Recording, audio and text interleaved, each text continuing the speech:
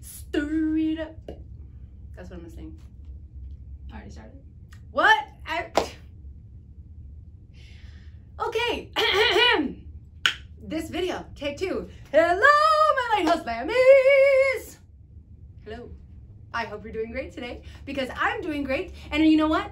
Every day is a great day to serve the Lord. So guess what? Yesterday was a great day to serve the Lord. Today is a great day to serve the Lord. And tomorrow is going to be an even better day to serve the Lord. And today it is time for an aerobic verse review. So you already know what I'm going to say. Get up, get up, stand up, get up off the couch. Did you did you get up? Did you get did you get out? Okay. All right. All right. All right. All right. Are you ready? So today's scripture is I'm singing Bob Marley in my brain because I keep seeing this stirs stir it up and I keep seeing stir it up dun, dun, and sorry, sorry, sorry. Okay, okay, okay. This video is all over the board. That's fine. It's fine.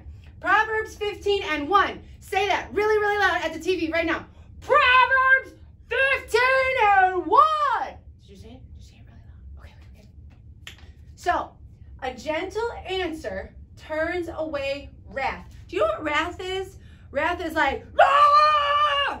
angry, super angry, like really mad, like throw stuff mad. You throw stuff when you get mad? Probably shouldn't do that. But listen, but a harsh word stirs up anger.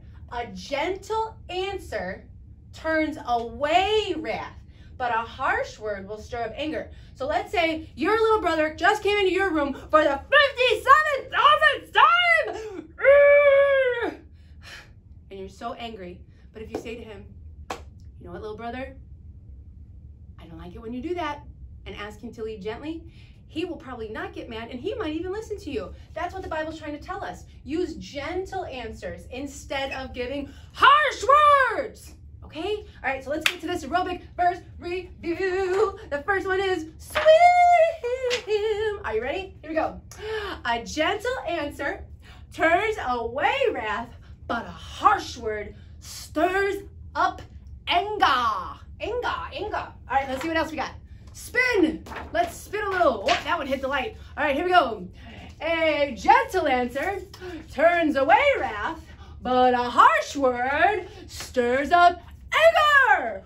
I'm about to slip on one of my aerobic verse review words.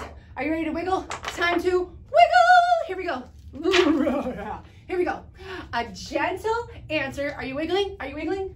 Turns away but a harsh word stirs up anger. I don't want to spend my whole life angry. I want to have good days, happy days. So I got to really use a lot of gentle answers.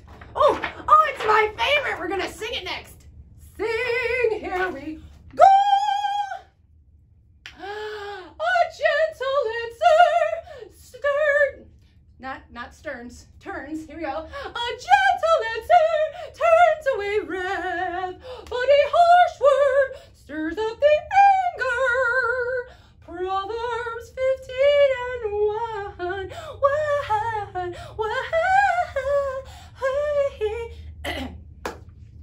go ahead and stop there.